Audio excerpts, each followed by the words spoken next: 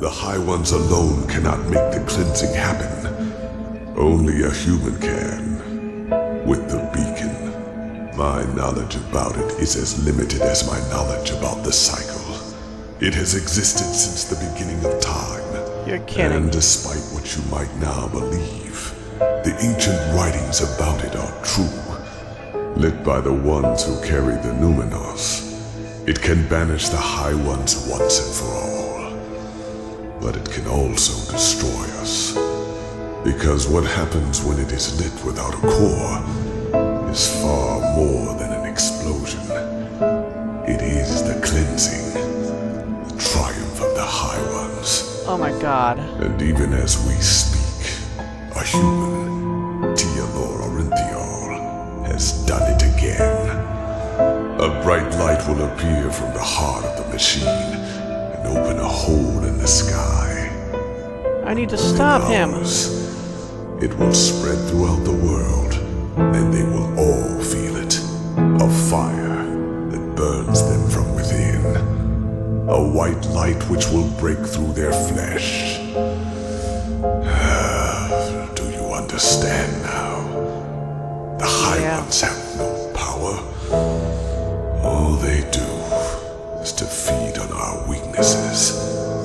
manipulate us into bringing about our own destruction.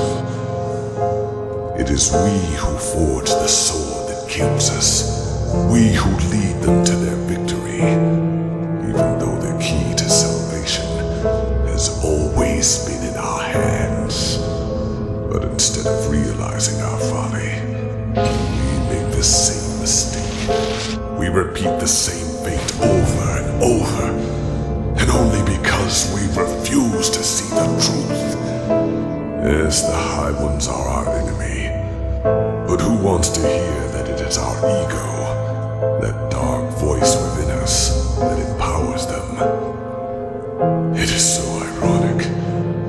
The moment we would realize all this would be the moment it all came to an end.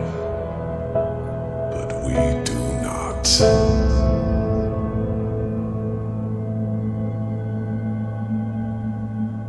I'm stunned. They can't even hurt us other than giving us red madness. We do the cleansing. They reap. We sow. Dreams, thoughts, visions. They are everywhere. But the principle is always the same. They throw a tainted seed into a fertile ground. The rest happens by itself.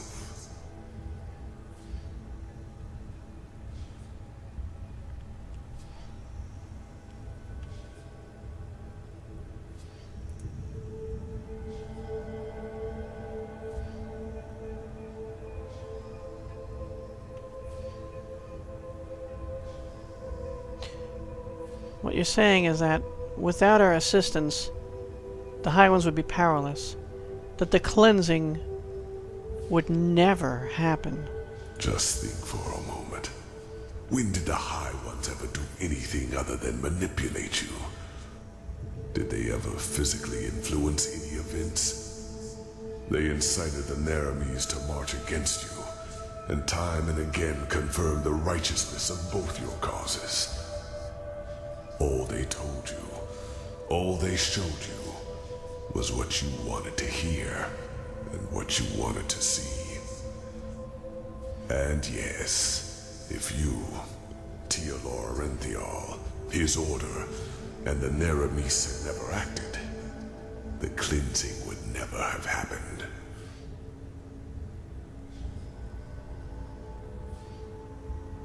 So there really is no reason for all of this? It's unbelievable. Maybe there is, but if so, I do not know it. But the more turns of the cycle I witness, the more I get the impression that it is some kind of trial. A cosmic game woven by powers we have not even come close to comprehending. Maybe this is just wishful thinking, To give all this pain a meaning when it does not have one. Maybe the High Ones are simply a law of nature, a concept. And we give birth to them by believing there is such a thing as an ultimate external enemy in the first place. The eternal struggle with ourselves.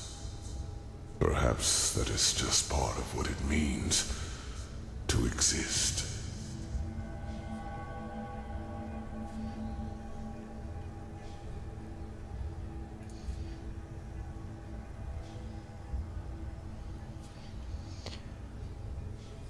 So that means Arantheal just initiated the cleansing. He started the cleansing. He has signed a death warrant for all of humanity. Like a thousand others before him, the High Ones knew exactly what they had to do to get him to commit this last act of desperation. They played him with his weaknesses and fears, like a figure on a chessboard. And the saddest part is that until the very end, he will believe that he has done something good. He'll never know. He'll never know, because he'll be destroyed. He won't realize that the rest of the world will be destroyed. The rest of the all worlds. In the galaxy, the universe. I mean, we really don't know about these things either way at this point, but it's because he wouldn't accept failure, no matter the price. That was his greatest fear, yes. To be remembered as a failure, a broken man. That was the stream the High Ones manipulated him from the moment he died, after attempting to flee from his prison on Nehrim. He died? The moment he died, what do you mean? The real Arantheal. He is dead, prophetess. He is a fleshless one. One of the mightiest tools of the High Ones. Oh. Just as you are. What?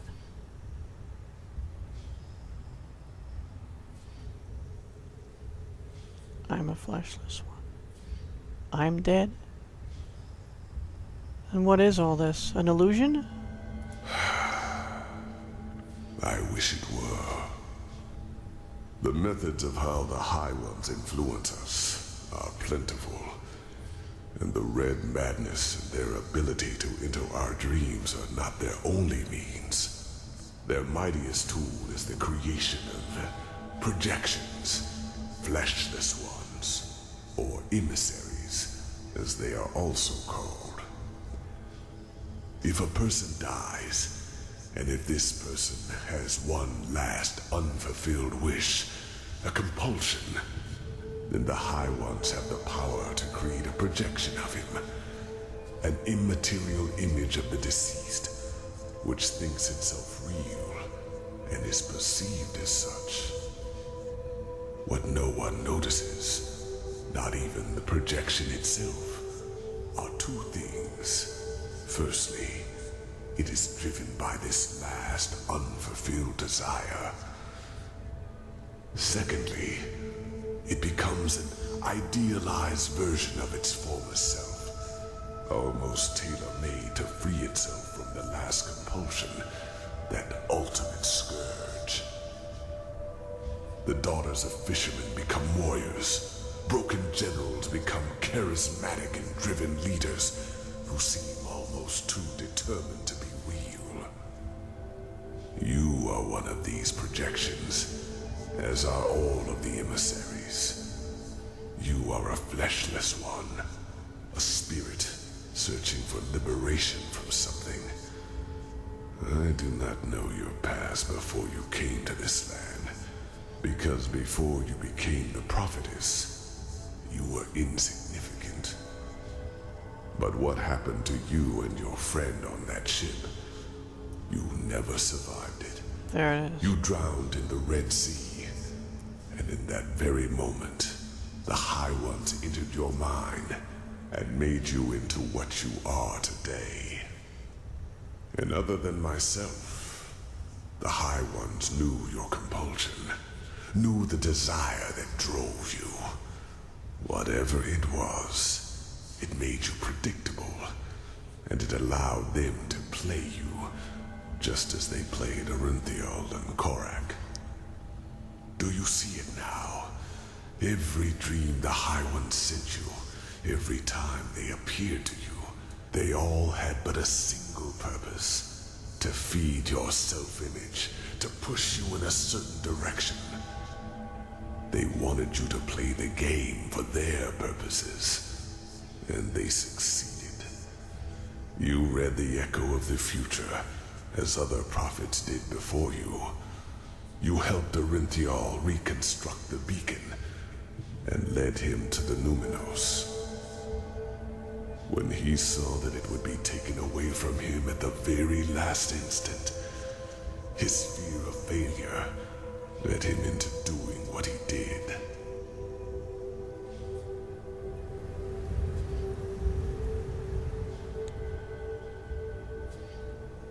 Then this means I'm responsible? I caused the cleansing? You are not to blame, prophetess. You did what countless others did before you. And you did it because you thought it was the right thing to do. Only one thing is different. In all the time I have been here, never before did a projection realize its own nature. You were meant to dissolve like the rest of mankind. Yet, here you stand, and I tell you the truth. This was never meant to happen.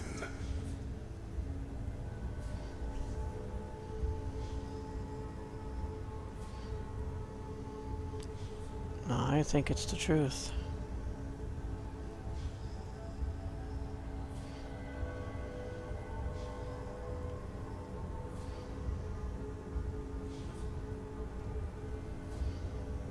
So the High Ones wanted us to reconstruct the beacon.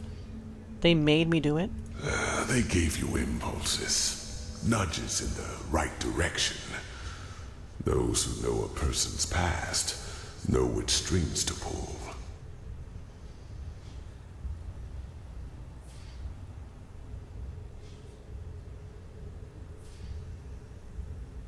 But then... That means that the beacon was a trap set by the High Ones from the very beginning. No, it is as I said. For as long as the cycle has existed, so has the beacon.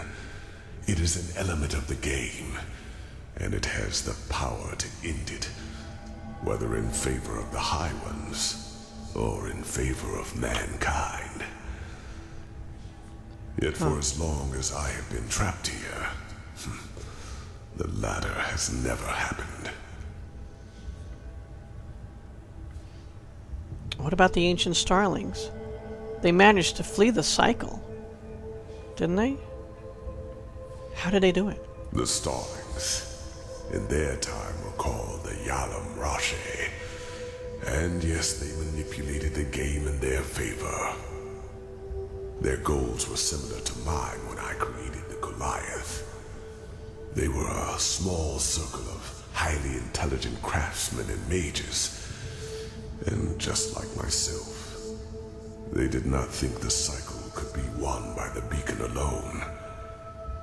So by unknown means, they fled into the sky and created something that protected their city from the cleansing. What happened to them, though? Are they really the ancestors of our starlings? Yes. But knowledge about their history is sparse, since the Star City was almost beyond the reach of my eye. But I know that its first centuries were glorious. The Yalam Rashe lived in harmony, and their society was the pinnacle of all that mankind could be. With time, however, their population grew. They became too numerous for their small city. And so they invented their golden rules, which were supposed to control their growth. Golden rules.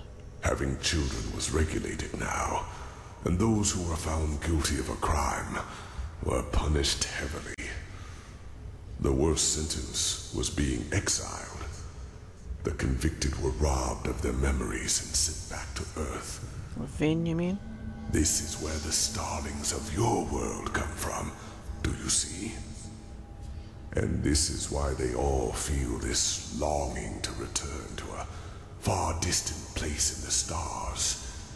It is an ancestral memory.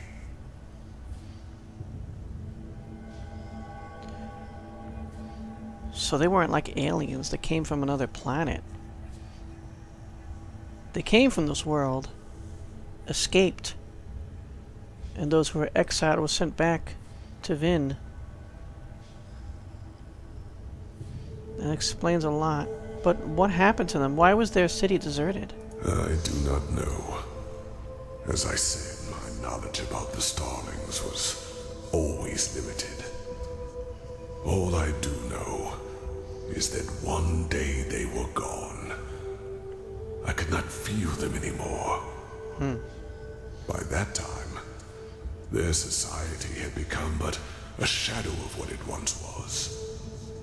But whether they destroyed themselves or left for someplace else, I will never find out.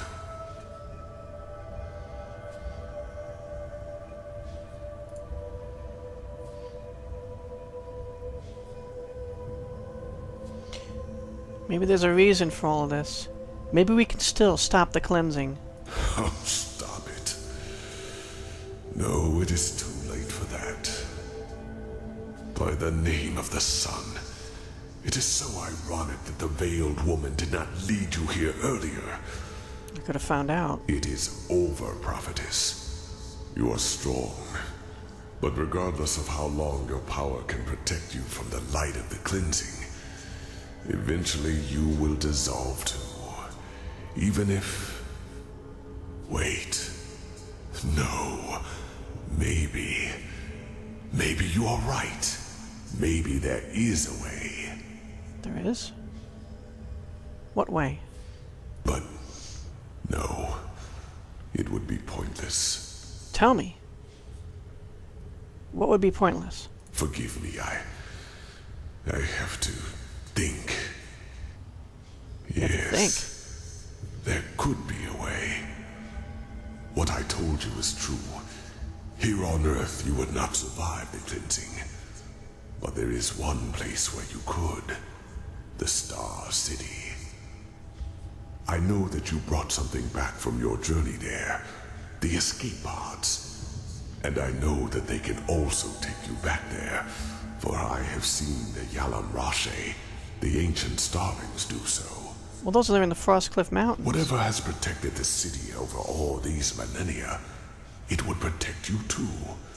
Yes, you could survive it. By the face of time, you could. You want me to flee? But to what end? That would stop the cleansing. No, no, it would not.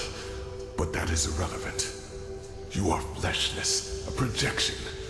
And just like me, time cannot touch you, age cannot kill you. And thus you could succeed where I have failed. You could wait for the cleansing to be over, and then create a new humanity. Create a new humanity.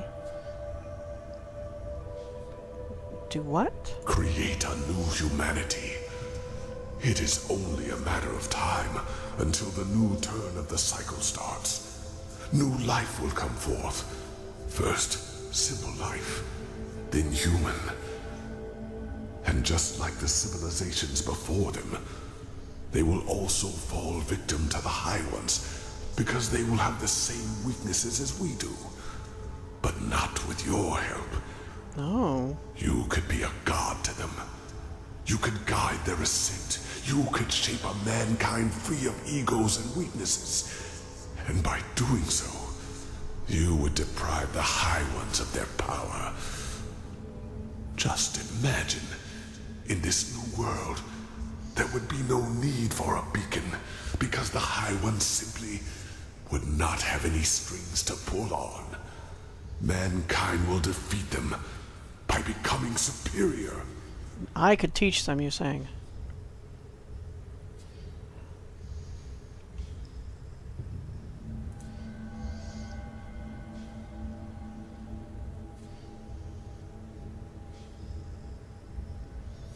What exactly makes you believe I would survive in the Star City?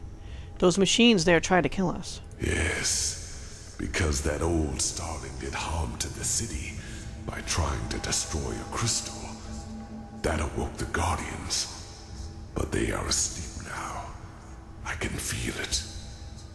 You would be safe. Believe me.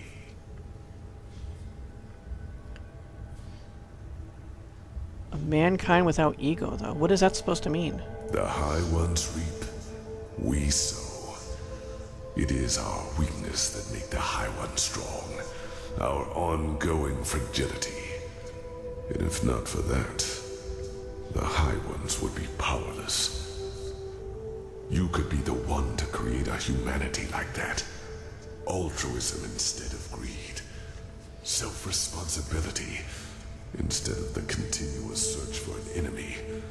Awareness instead of blindness. You really think I could do that? What makes you believe that I could do that? The Lightborn tried to do the same thing and they failed. The Lightborn tried to force their ideals onto an already rotten people. Just like the Pyrean Sun Priest and the countless false deities before them. You cannot save a tree whose roots have already withered. But with you as a deity to lead this new mankind, it would be entirely different. You could completely change what it means to be human. And would it not be presumptuous to rob the world of this chance? Simply because you are afraid of failing? Believe me, I would give a lot for this chance. Still, that would mean leaving mankind to die. No, they are already dead, damn it.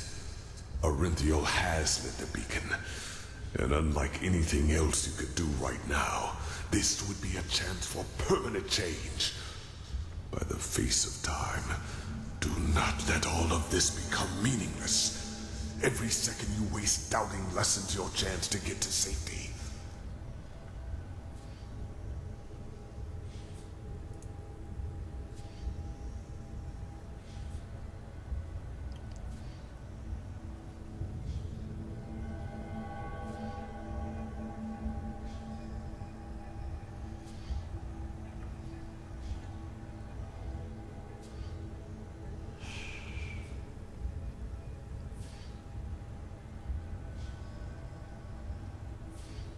This is wrong. I can't let all these people die. There has to be another way. You hinted at something. Yes, yes. I regret that I did. Please, right now, you have the chance to break a millennial old pattern. Do not let it go to waste. I beg you.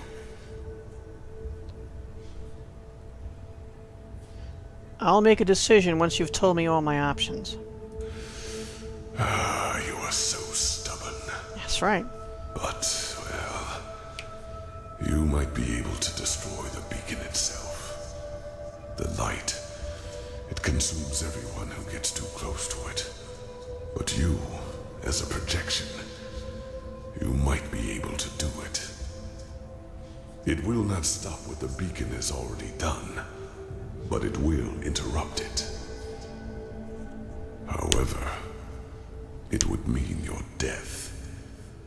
Yours and that of all life in Enderal. It is too late to save them now. And even if you succeed, it changes nothing.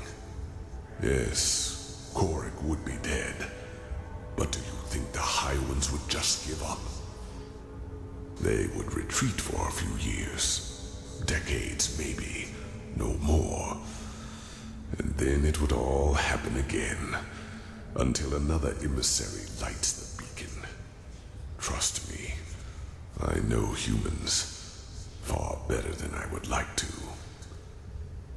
Within a few years, you would be forgotten, and they would win, as they always do. Not if someone were to tell them everything that you just told me. Not if someone could flee.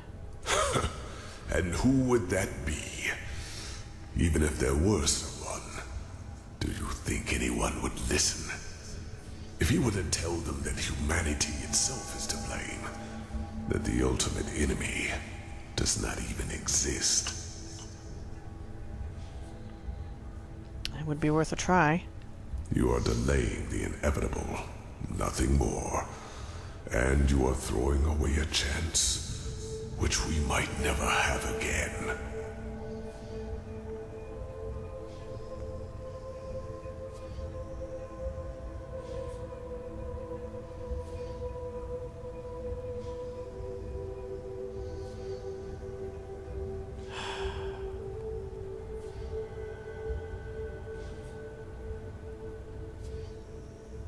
I have nothing but what he's telling me. Although a lot of it makes sense. This choice, destroying the beacon, all of Enderal would die, and so would I. And then the High Ones, in a few decades, would just get someone else to light the beacon, and then they would destroy everything anyway. According to what he is saying. This, plus, and then into the future, the whole thing would happen again with a different civilization. Once life is created anew, like he said, simple life, and then human beings, or whatever amounts to being human for this new race, or races, species, the whole thing would happen again.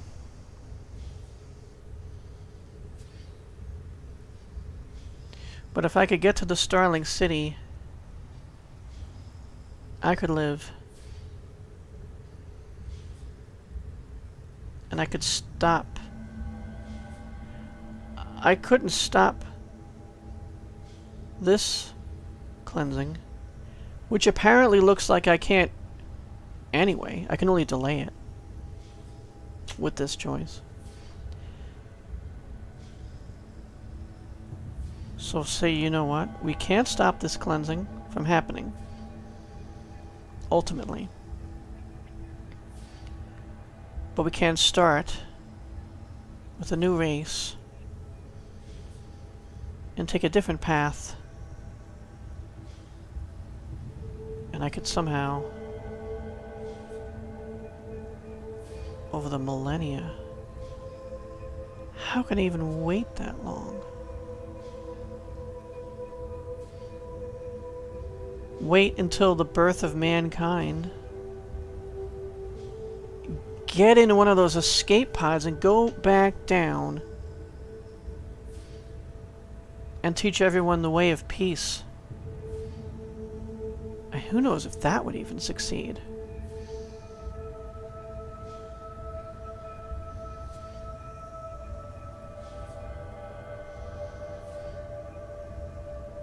How can I even make a choice like this?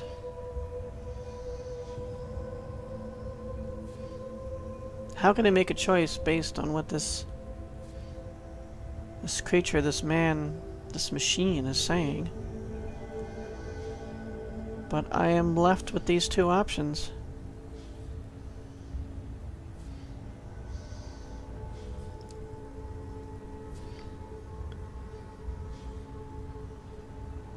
There is no refusal ending, or, well... In a way, this is the refusal ending.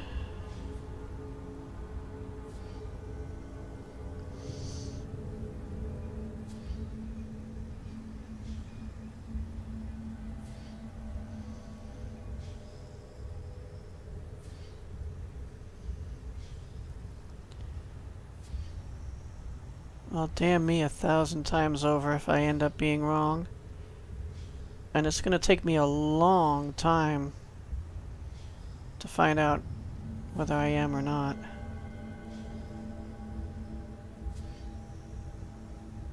I'm really immortal in this shell. I can live that long and then help the next the next wave, the next species of mankind.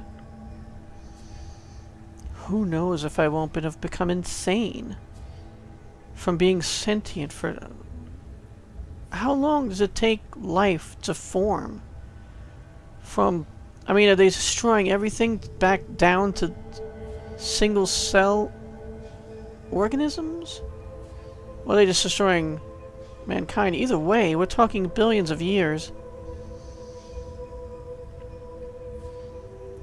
Will my sanity even last that long?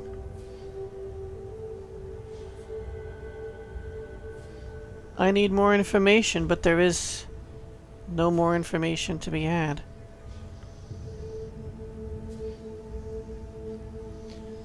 This isn't even... Believe it or not, I'm not even thinking about me.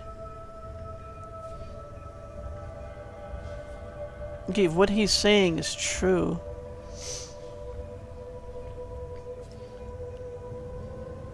Is it worth it for the other countries, the other continents to have a few decades of life and then to be killed and then for the next the next life, the next species to be killed, absorbed, cleansed, whatever, over and over again.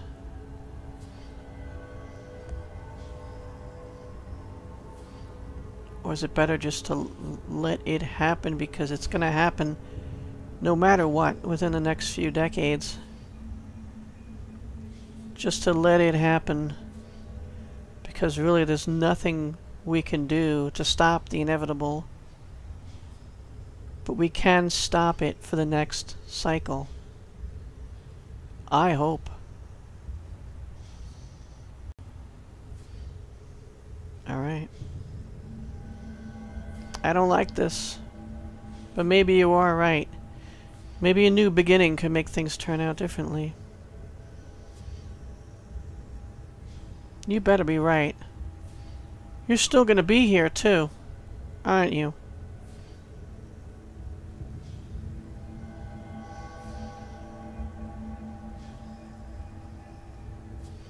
If you're wrong about this... I'll see you in a few million years. And there'll be a reckoning then.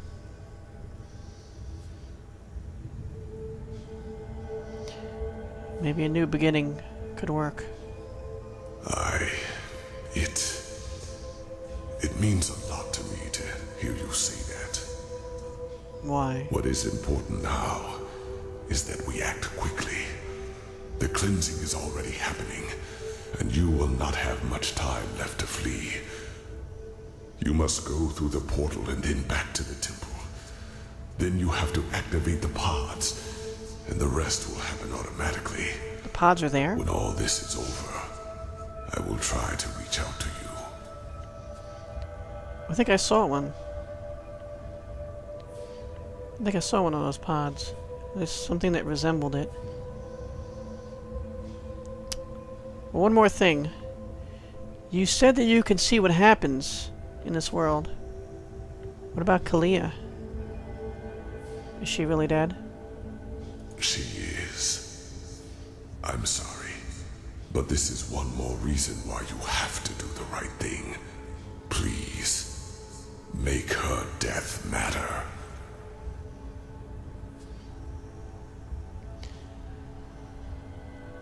Alright. This is it. I'll try to get back to the temple. Yes, and hurry. You will feel the light as soon as you are back on the surface. And given time, it will consume you. But you will succeed. I feel it. Ah, there is is one more thing I need to ask of you, however. One final request. I want you to shut me down. Oh. Shut you down. You mean kill you? I thought you were gonna be here. Be my buddy when we succeed at this. You want me to kill you? Yes. I want to finally rest. Please do not try to convince me to do otherwise. All that. I do not want to be a part of it any longer. I have not wanted to for a long, long time. Please, do it. The switch is in front of you. That was how I connected myself to the Goliath. It will cut the connection as well. Do it. And then go. Go and fulfill your fate.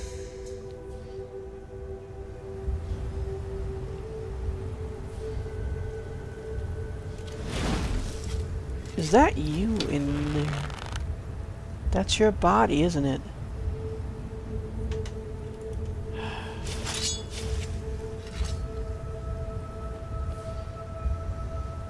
The switch?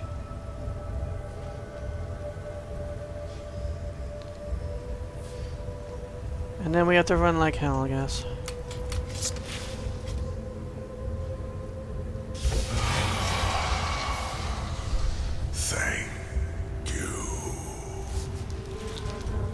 What, what?